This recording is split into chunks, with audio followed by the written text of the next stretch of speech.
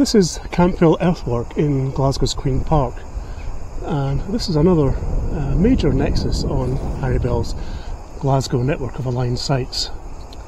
And you can see behind me it's uh, quite a large enclosure, and it's technically classed as a ringwork because uh, there is an earthwork rampart around it.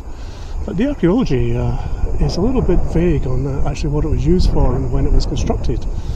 Uh, some people think it was uh, used as a camp by Queen Mary's army before the Battle of Langside, which happened just over the other side of the hill behind me here. Um, others think it was a Roman camp. Uh, some others think it was a Neolithic settlement. Uh, it may well have been all of these things at one time or another. Certainly, I know there's uh, some Roman uh, pottery has been found here, so certainly the Romans were here.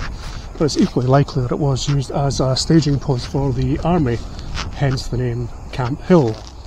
But I always found it a very interesting site, and when I was doing my geomancy training, I came up here and picked this as my uh, sacred space.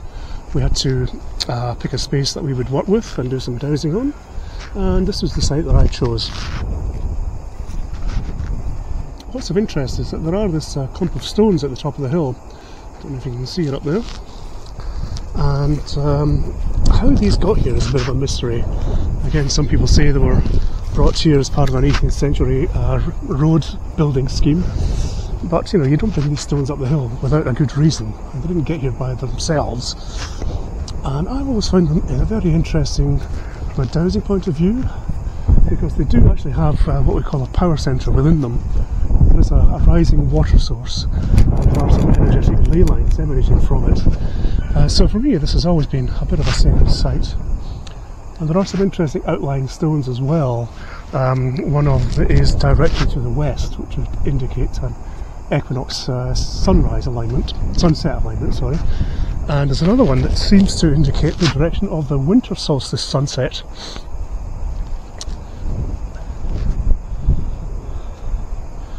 Which is this one, this one just behind me here. This is the uh, direction of the winter solstice sunset. You can't really see it through the trees here, uh, but this is the best time of year to come since it is a, a nice sunny winter's day. It's an interesting sight. Uh, this ring of stones is used and abused by many people in typical Glasgow fashion. You know, there's evidence of campfires and uh, cans of lager and stuff lying about, littering the place. But still, it does have a, a definite feel to it.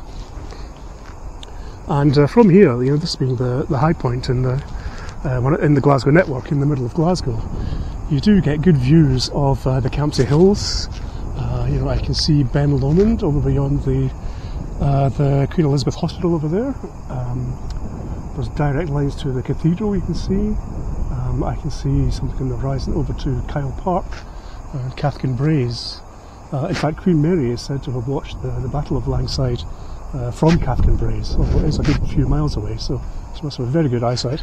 Um, and uh, up there there is a Queen Mary as well, which Harry uh, has uh, done a nice little drawing of in his uh, in his book. So yeah, let's just uh, do a bit of dowsing and see what we can find. So okay, let's just try a bit of dowsing here. So I'm going to start by looking for underground water flows. So let's just see, uh, focusing on uh, looking for underground water flows from the stones here.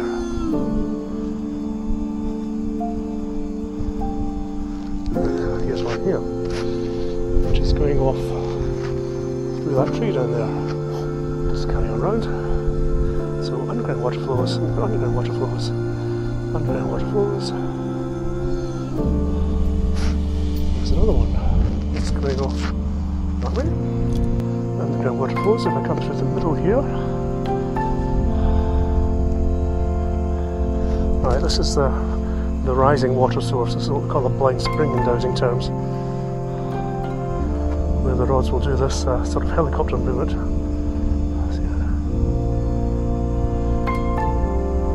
There we go. Um, it is hard to sort of grasp what this site is like because there is just so much to it. Um, but you can just about see the uh, the edge of the ringwork there. You can see the banks going round. So it is quite extensive. The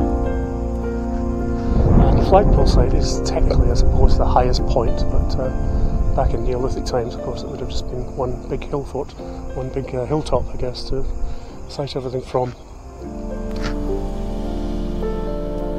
And here is a view from the flagpole, looking around the north of the city. You can see Dumgoyne at the end of the Campsies on the left there, and as we move round, you can see over towards the cathedral and the straight road with no path. Um, moving around further still, we're looking over at Kyle Park in the east, where the two white dots are there. And as we pan right round to the east towards Cathkin Braes, where Queen Mary is said to watched the Battle of Langside, you'll see the wind turbine on the skyline at the back there.